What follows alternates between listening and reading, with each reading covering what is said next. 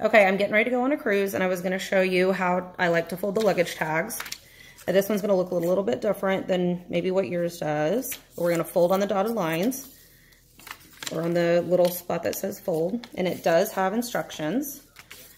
I like to use box tape to get it just a little bit longer than what it is. And go about halfway and do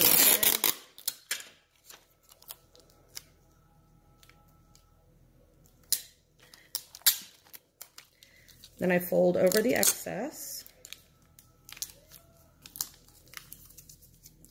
And then on the spot or on the side that doesn't have as much, I'll fold it over. And then we're gonna put it on the bag. Like I said, you can staple this if you don't have box tape. We just go like this. And it gives you kind of a waterproof seal across it so it doesn't bleed out or run.